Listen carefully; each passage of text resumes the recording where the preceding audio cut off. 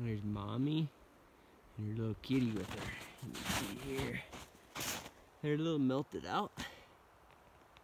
That looks like the mom. You see in there, you can see the kitten. Looks like actually probably two kittens. There's a kitten track there.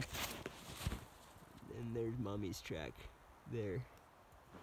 Kitten track.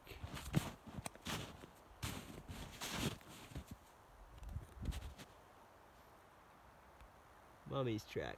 So right here, you can see where a female and a kitten mountain lion came through here. You can see their tracks. They're a little old. They're in spots I can see where I can identify them as a female and a kitten. And then there's also a tom that was below them. And here you can see down here, the tom came up and he got back, he got onto their trail here. And right in here, you can see a lion scratch, okay? And so when when people hear the term lion scratch, a lot of times they think like scratching on a tree or something like a house cat on a on a scratching post. But a lion scratch, what they do is they they kind of mark their area with it, or they're just doing it whenever they're using the, the bathroom or whatever. But I notice that they come back to the same scratches and kind of freshen them up.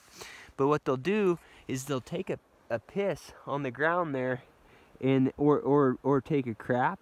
And then what they do is they just push push the uh, vegetation up over that.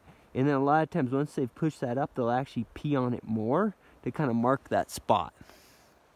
Okay so hopefully you guys can see that down in there. All right guys so here's a closer look at that lion scratch. You can see where the lion came down and that's what one looks like right there.